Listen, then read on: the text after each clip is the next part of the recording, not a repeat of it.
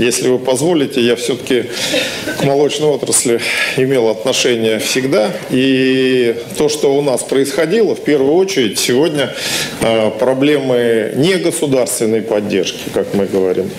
У нас проблема с вами того, что никогда государство не считало молочный рынок требующим регулирования. Всегда считали, что у нас вот, кстати, Иван Валентинович Стариков, вот он у нас был э, заместителем министра экономики. А в свое время выступал, говорил о том, что агрохолдинги – это неправильный путь, критиковал, и документы даже есть. Говорил, что личные подсобные хозяйства, они выведут нас на тот уровень развития, который необходим. Вот вы представьте себе, как мы сейчас с белорусами конкурировали, если бы у нас личные подсобные хозяйства, у них комплексы были, интересны. Ну, речь не об этом. Речь о том, что в то время Иван Валентинович курировал сельское хозяйство в Министерстве экономического развития. Вы мне сейчас скажите, кто-то курирует в Министерстве экономического развития развитие сельского хозяйства, экономический рост в сельском хозяйстве, нет? То есть у нас с вами э, с течением времени произошло так, что стало выгодно заниматься тем, чтобы проводить реформы. Вот сложилось твердое впечатление, что Министерство экономического развития – это те люди, которые должны проводить реформы. Вот они именно те, кто знают, как проводить реформы.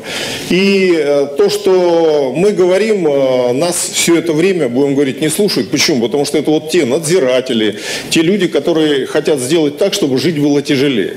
На самом-то деле мы превратились в то, что ряд законодательных документов, которые мы приняли, в том числе в контрольно-надзорной деятельности, они разрушили рынок и разрушили его очень эффективно. Почему? Ну, потому что невозможно сегодня, а, исходя из нашего законодательства, ни Анне Юрьевне, ни мне прийти и проверить продукцию, не предупредив, либо соблюсти ряд требований, что мы придем, то есть мы должны за три дня предупредить э, фальсификаторов о том, что мы придем к ним проверять фальсифицированную продукцию. Ну, вы вообще понимаете, о чем мы с вами говорим? Это абсурд, и э, как с этим абсурдом вообще жить? А мы живем и достаточно достаточно долго живем. При этом надо сказать, что э, на это наши коллеги, те, которые занимаются непосредственно законодательной деятельностью, вот я имею в виду э, коллега Хайрулин, который критикует, но они на это внимание не обращают. Они обращают внимание, там, критикуют, там, вовремя закрыли, не вовремя закрыли. Оценки федеральных органов исполнительной власти давать легко. А гораздо тяжелее давать оценки самим себе, вы какими законодательными инициативами выходили. Так вот, законодательные инициативы господина Хайрулина господина Даниленко – это не принятие электронной сертификации. Причем такое впечатление, что вот Хайрулин с одной стороны, знаете, он так в тихой тени там депутатской, а Даниленко как рупор спереди, который, э, будем говорить, рупор э, наших коллег, которые иностранные активно на этом рынке занимаются. А первое, что я вам скажу, что наши иностранные коллеги на рынке, когда э, скупали предприятия, наш ФАС давал, между прочим, разрешение на скупку, да, потом эти предприятия активно закрывались. В результате что произошло, скажите мне? Вот если взять наших крупных иностранных производителей, которые закрыли ряд предприятий, а то, что из этих областей, где предприятия закрыли, молоко ты хочешь, не хочешь, ты должен везти куда-то, значит, ты хочешь или не хочешь, за это молоко не получишь ту цену, которую реально можно было получить на месте. Почему? Потому что перевозки 2, 3, 4 рубля, они ушли. А почему э, все возражали против электронной сертификации активно? Да потому что тогда вылезет, что, допустим, наши крупные предприятия, в том числе иностранные, они молоко-то возят вообще очень интересно. Я вам скажу, что это не только крупные предприятия. Я думаю, что и вы то же самое принимаете участие. Допустим, э, можно констатировать, что сегодня белорусские поставки, в том числе сухого молока, идут только через посредников. Я практически не увидел, когда мы сейчас стали анализировать, что сухое молоко, которое идет, или молочная продукция, в том числе концентрированные сливки, все то, что идет, из Беларуси они идут напрямую. Идет какая-то компания, расположенная в Брянской области, либо в Смоленской области, и дальше я читаю, куда это идет. Хохланд, Белгород. В Белгороде все кричат, мы работаем на своем. Да, работаем на своем. Кстати, в Вологду то же самое, между прочим, э, я-то в этом ничего плохого не вижу, но просто я не могу понять, вы мне скажите, а каким образом э, такое конкурентное белорусское молоко, в том числе сухое, что оно через посредников идет, даже через двух посредников идет, и конкурент конкурирует на нашем рынке? Ну, я вам объясню, что в то же время, э, вот когда мы с вами говорим о поставках молока, мы должны понимать, откуда это молоко берется. И вот сколько поставила сегодня, поставлена продукция на наш рынок, когда у нас была общая граница, было все понятно. Вот таможенная статистика, каждая машина проходит через таможню, все понятно. Сегодня все цифры, которые вы говорите, они ничем не подтверждены, потому что никто не знает на самом деле, сколько молока зашло в нашу страну. Почему? Ну, потому что мы создали интеграционную систему, хорошую интеграционную систему, которая должна работать. Но только в этой интеграционной системе можно под любым видом, хочешь полиэтиленовой пленкой привести молоко, хочешь э, клеем столярным, ну, то есть, чем хочешь можно привести. Вы мне скажите, а каким образом вы собираетесь тогда на этом рынке навести порядок, если у вас поставки неконтролируемые идут продукции молочной? И за эти неконтролируемые продукции поставки вообще никакой ответственности нет, потому что по законодательству мы должны а, эту продукцию, задержав, по требованию владельца вернуть назад. И мы ее успешно возвращаем в Беларусь. Поэтому, когда я начал говорить о том, что одна из основных проблем в том, что у нас рынок все время не урегулирован, а мы все время в каких-то реформах и начинаем говорить, давайте интервенции. Ну какие интервенции, если мы завозим из Беларуси молоко, то есть мы с вами какое будем покупать молоко? Белорусское, что ли? Или свое? Если свое оно лишнее, тогда почему едет белорусское, почему белорусское дешевле? Давайте говорить о том, что э, сама по себе система государственного регулирования, вот несмотря на то, что все говорят о том, что рынок должен быть свободным, она во всех странах есть. И американская система регулирования на молочном рынке, и европейская. Сейчас они уже, будем говорить, меняют общую свою ситуацию, но американская была, все излишки покупает продовольственная корпорация, которые потом показывали все наши комментаторы с удовольствием, вот апельсины выбрасывают. Да, выбрасывают, потому что купила корпорация регулируемый рынок апельсинов. То, что лишнее, они просто выбросили и раздавили. Вот молоко выливают. Да, потому что это молоко лишнее, иначе цены на молоко упадут, не будет цены. Европейская система – это система квотирования поставок. Вот как только европейцы отменили систему квотирования поставок, у них сразу возникли проблемы. Откуда вот у них сейчас 4 миллиона молока, ну, в сухом виде, это порядка там 400 тысяч тонн, которые некуда девать. И откуда у нас с вами увеличение поставок сухого молока, которого никто не видит. На границе нету в Белоруссию поставок сегодня из Европы. Там всего ввезли 5 тысяч тонн. А это есть. А молоко есть. И это молоко любыми путями заходит, потому что то, что на нашем рынке сейчас происходит, это поставки, в том числе вот мы посмотрели и через Киргизию, и через Казахстан, то есть туда ушли, а, а туда не пришли. Ну, если мы с вами законодательно не решим вопросы регулирования рынка, все остальные вопросы, давайте там на литр молока поддерживать. Ну, вы смеетесь, что ли? Давайте литр молока поддерживать здесь, в это же время сухое молоко, которое приедет э, через Казахстан. А почему через Казахстан? Потому что Казахстан сегодня согласовал американцам условия поставки. У нас в Россию закрыты поставки американского молока, а в Казахстан они открыты.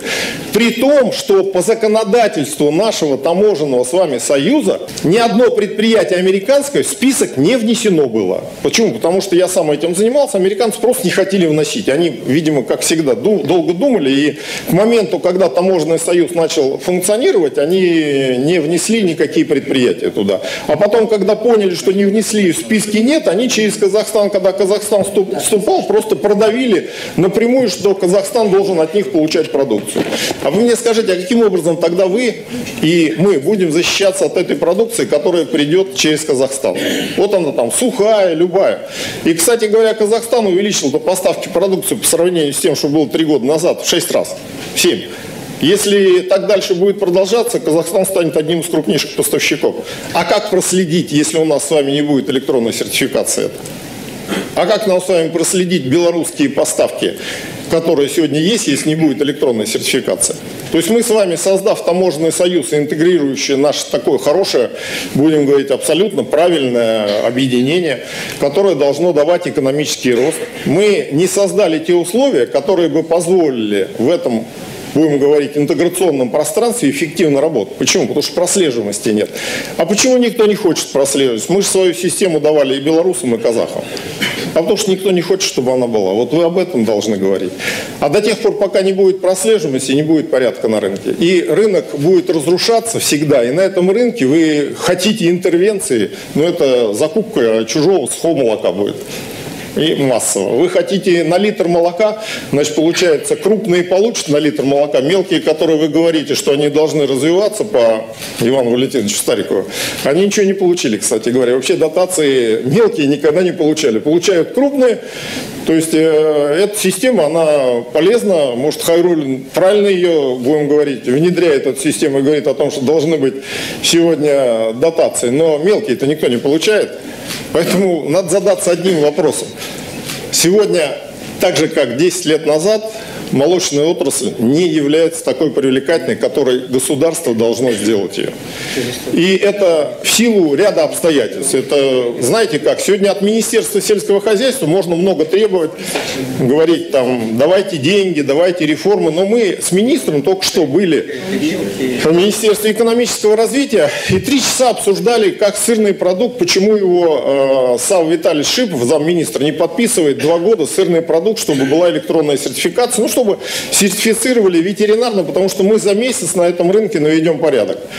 Кстати говоря, тогда, когда нам разрешили встать на границе, вот сейчас, вот это в течение там 10 дней примерно, в 20-х числах а, резко прекратился поток сырных продуктов из Белоруссии, турецких, аргентинских и всяких других стран, и возник поток белорусских сырных продуктов, ну, белково-жировых. Единственное, что наши коллеги белорусские, они немножко запутались, где баня и где вахта.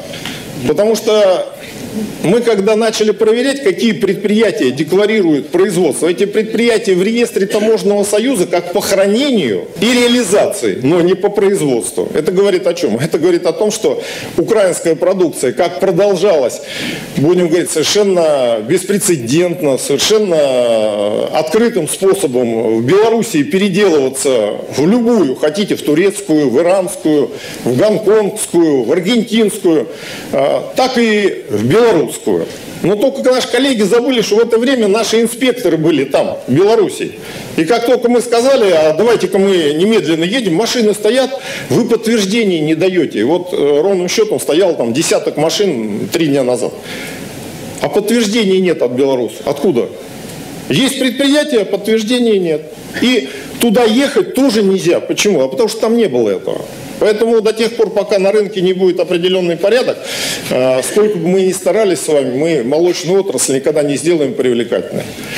Второй вопрос – это все последствия, которые идут от того, что на рынке беспорядок, в том числе и фальсификация и все то, что касается и связано с заменой жиров, с тем, что возможно сделать. Ну, потому что если на рынке нет правил игры, значит, каждый играет по своим правилам. Вы это лучше знаете. Я думаю, что коллега Пономарев, который знает это, расскажет. А, думаю, что в данном случае не буду говорить о цифрах, не буду а, говорить о том, как мы с потребнадзором имеем там разные точки зрения. Почему? Ну, потому что это неправильно. А, мы с Анной Юрьевной в спокойной обстановке сами разбираемся, понимаете. В любом случае, э, сейчас э, реформы, которые должны быть и должны быть в правительстве в мае месяце, вы тоже должны понять, что это объективная реальность. И ваша задача поддержать одно. Ваша задача поддержать поддержать в том, чтобы реформы были в том направлении, в котором нужно для вашей отрасли. А это что означает? Не может быть Министерство сельского хозяйства, оно должно быть и перерабатывающей промышленности. Почему? Потому что тогда совершенно будет понятно, а какие действия с перерабатывающей промышленностью нужно осуществлять. Не может быть порядка на рынке субъектов, если коллеги приехали вот из Карелии, они за качество продукции не отвечают. Они должны обратиться либо к Анне Юрьевне, либо ко мне, либо к кому-то.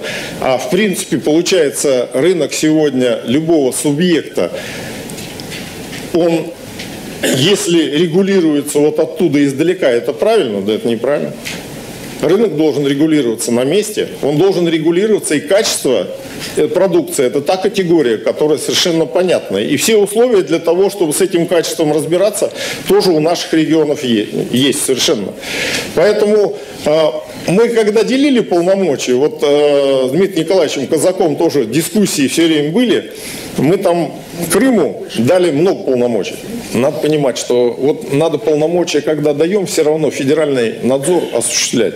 И никто не говорит о том, что передача каких-то полномочий, будь то от потребнадзора, будь то от сельхознадзора в регион, не означает, что должна быть э, дальше федеральная надзорная власть, которая следит за тем, как эти полномочия выполняются.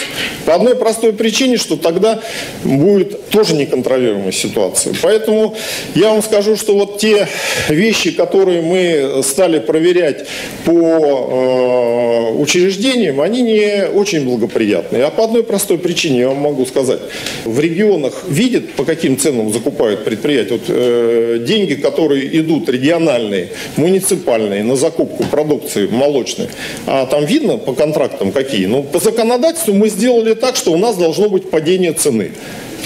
И по законодательству получается так, что потом, чтобы проверить, что идет, ты за три дня должен предупредить. Ну, мы создали систему абсолютно порочную, которая сегодня на молочном рынке ведет только к одному, что выигрывает тот, кто может обмануть. Выигрывает тот, кто совершенно не является производителем. И очень многие, кстати говоря, в Московской области предприятия, а, в том числе, которые мы проверяли, а, по жалобам, которые к нам приходили, есть такой Брашко, который за честные продукты, он забросал всех э, жалобами, он просто анализирует, что по контрактам пишут и говорит, что этого не может быть, потому что этого невозможно. И дальше пишет жалобы. Я вам могу сказать, что не Союз молоко, не ваш Союз этим не занимается.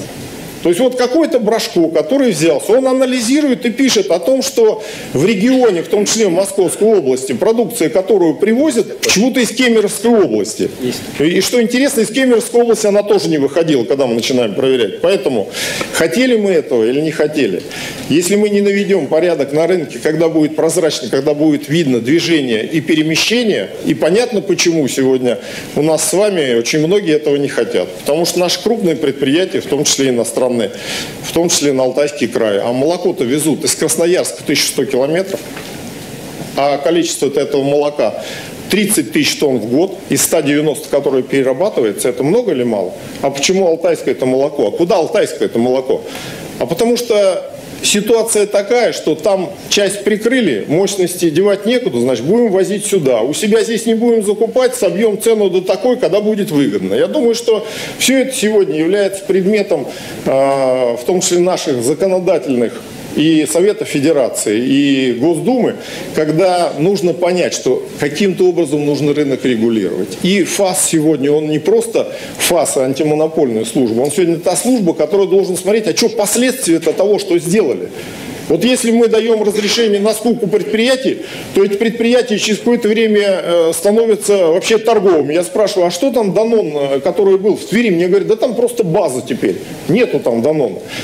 А что Данон здесь? А Данон везет сегодня э, каждый день в Чехов 40-50 тонн молока из Беларуси. Это только вот один канал. А дальше два завода, которые Данона э, везут э, на другие заводы. А кто посчитал это количество? А никто не может посчитать, потому что кроме нас на границе никого нет а обязательного законодательного того, что это должно регистрироваться, кроме электронной сертификации тоже нет. Вот как только у нас с 1 июля электронная сертификация будет, и наши коллеги белорусские там сейчас мне пишут письма, вы нам не даете доступ, вы там э, не даете нам чего-то, почему? Да потому что они страхуются, что они ничего не сделают. Почему они ничего не сделают? Да потому что никто не может сделать сегодня того, что невозможно. Потому что в Белоруссии сегодня к нам поставляют продукцию достаточно хаотично, и мы с вами вами должны тогда будем, когда будет электронная сертификация, четко знать, завод сколько, 150 тонн в сутки, сколько он поставил к нам, и откуда у него сухое молоко взялось, приехало все-таки из Польши под видом цементной смеси, оно.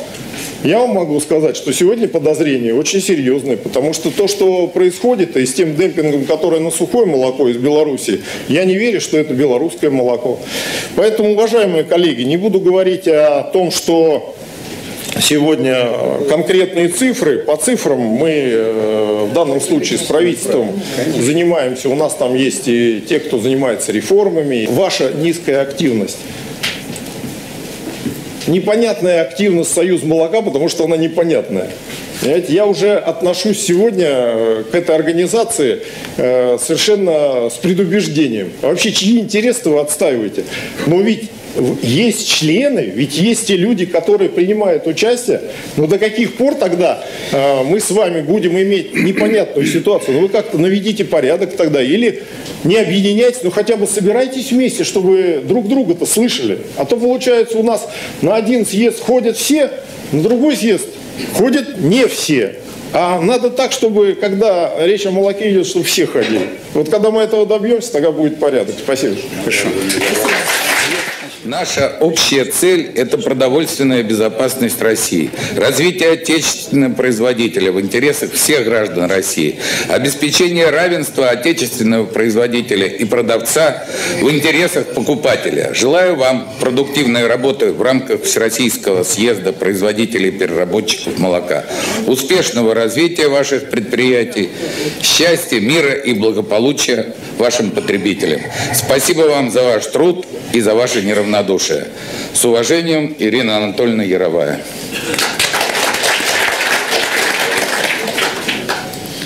Наверное, сегодня многое сказали о молочной отрасли. Не хотелось бы повторяться, однако остановлюсь на некоторых деталях, которые сегодня, на сегодняшний день характеризуют молочный рынок. Начну с приятного, что на сегодняшний день, наверное, впервые наметилась положительная тенденция развития молочной отрасли. Президент, поддержка бизнеса э, правительством позволили перебороть 15-летний период стагнации, и что позволило увеличить, увеличить объем производства молока на 3,7%.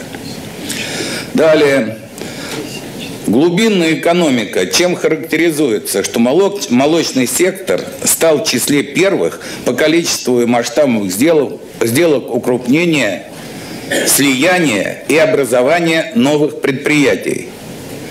На сегодняшний день наверное, вопреки всему, отечественные игроки отвоевывают позиции у зарубежных гигантов, таких как Данон и Пепсикола. Если посмотреть э, нулевые года, то сумма, э, в смысле рынок этих двух предприятий догонялся до 50%. На сегодняшний день он всего 18%. Эту долю отвоевали отечественные товаропроизводительности. И эту долю отвоевали именно в последнее время благодаря поддержке животноводческой отрасли и благодаря указам президента по антисанкциям. Это действительно реальная победа, и это действительно реальная почва для дальнейшего развития молочной отрасли. Что на сегодняшний день беспокоит? А беспокоит, собственно говоря, вещи, о которых мы говорим на каждом съезде уже, наверное, в течение пяти, а может быть и десяти лет.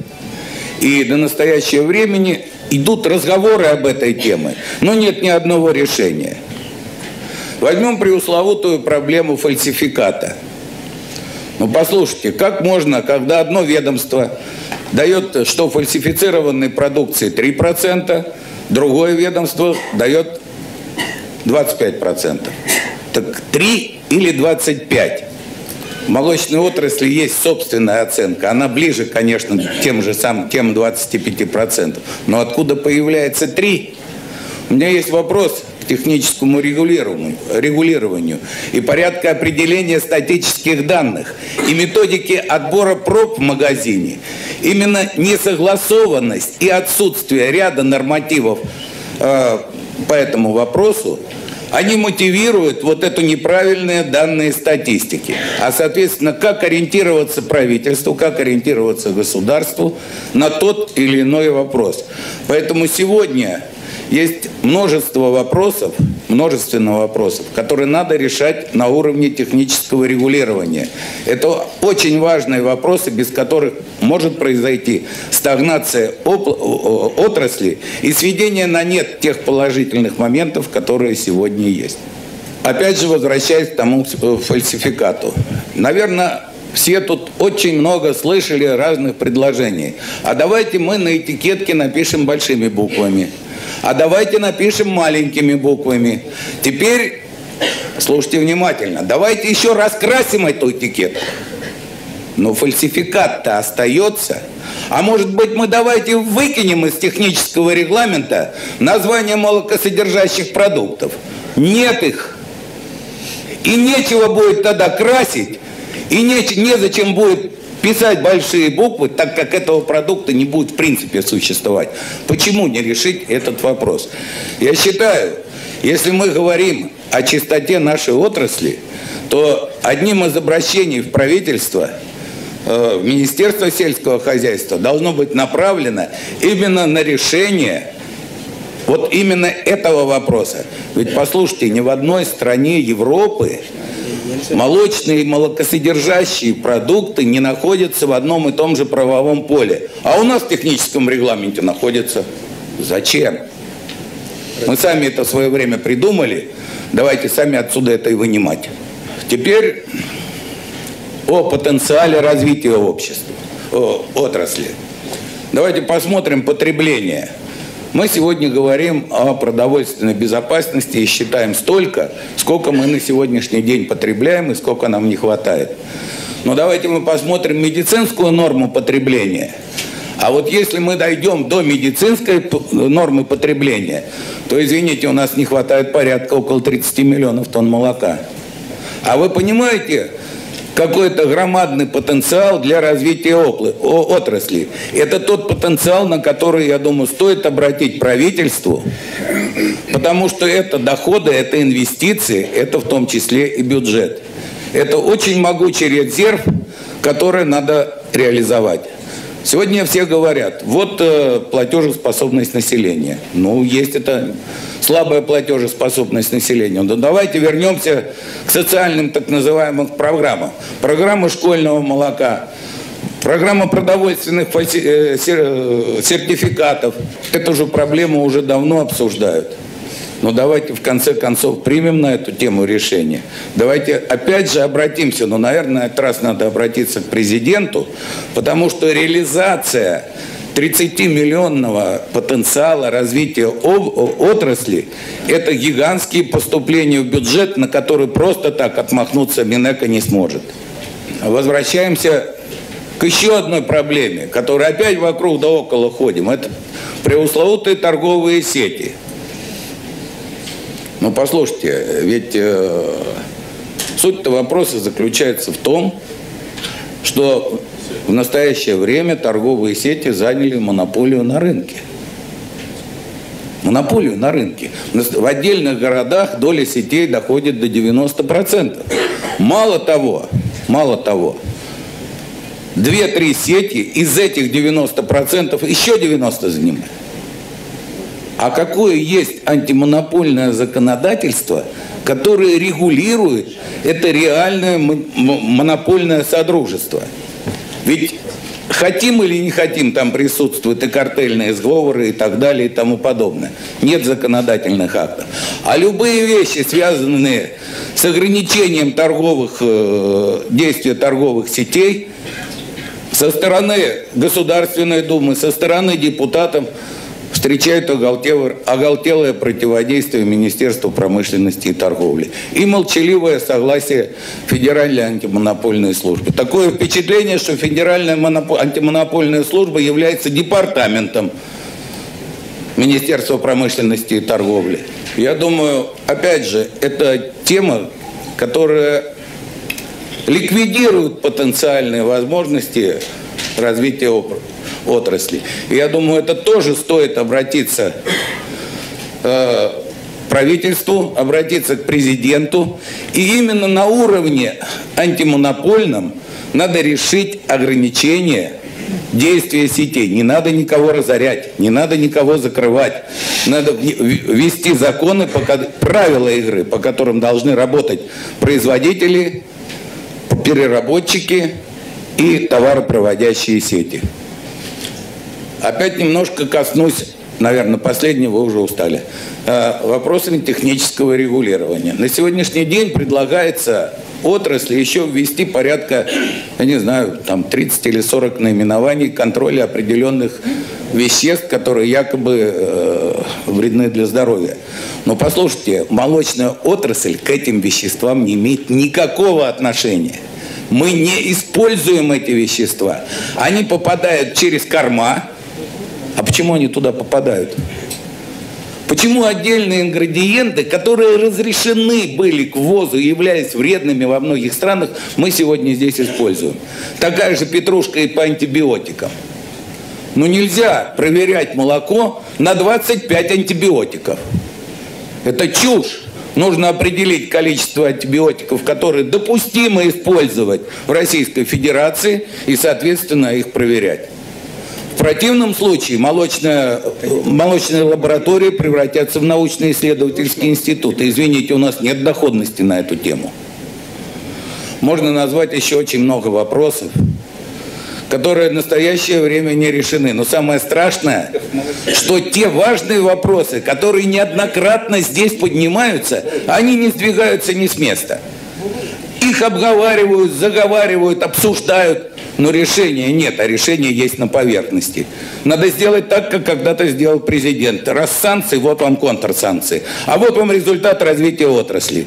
Оно явное, оно считаемое, и оно получилось. Спасибо за внимание.